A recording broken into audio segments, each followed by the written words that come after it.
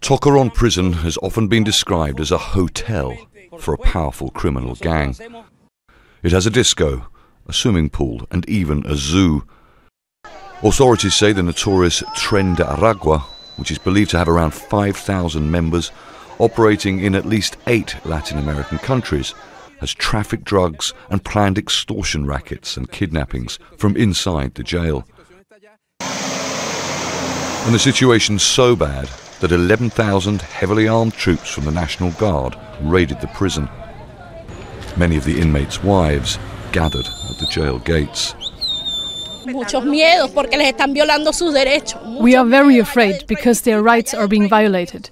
There are visitors, children, and pregnant women inside. The policemen, those guards that had passed by going there towards the prison, they told us just now that they were going to kill all of them inside.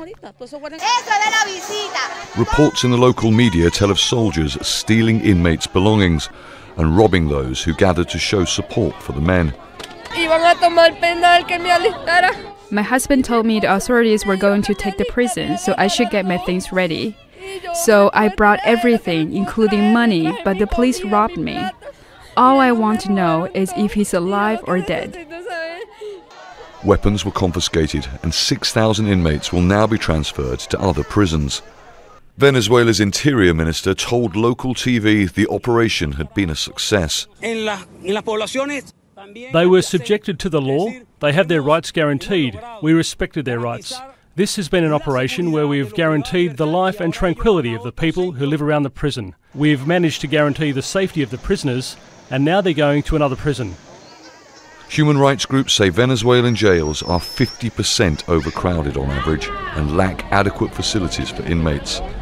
They also suffer from institutionalized corruption from within the prison service. Charles Stratford, Al Jazeera.